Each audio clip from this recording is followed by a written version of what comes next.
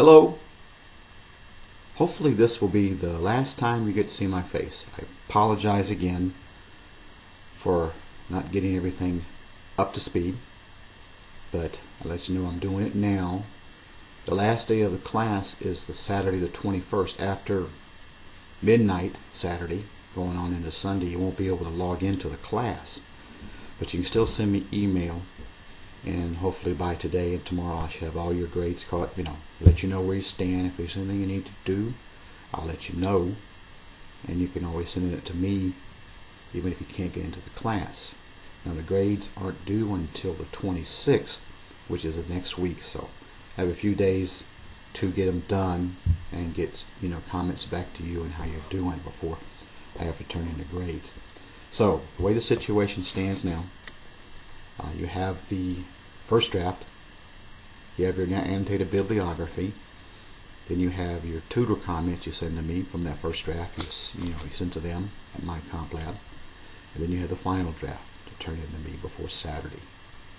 And like I said before on the APA, don't worry too much if it's perfect.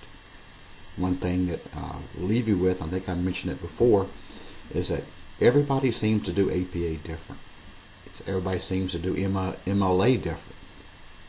But that's why I at least want you to understand the basics when it comes to the APA and what you've got to put in in-text citations inside and reference citations at the end.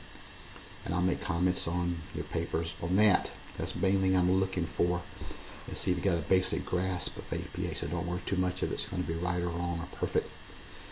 Maybe the best thing I showed you, if you go into the EBSCO, you know, in any of the databases and do the citation, it'll give you a citation in APA. The only thing wrong with that, it'll just say if you went like EBSCO host, it'll say retrieve from EBSCO host database. You need to more or less give me the specific database that you got it from, not just EBSCO host. So that's the only thing that's really different about the way that EBSCOhost does citations. Overall, they're pretty good, and, as a word of note, would be safe to do it that way in further classes that you might have. So, look forward to seeing your grades coming to you next day or two. Uh, if you have any questions, let me know. But it's been a pleasure working with you. I'm sorry I haven't been around enough as I should. But uh, if you ever have any questions for me, let me know and I'll get back to you.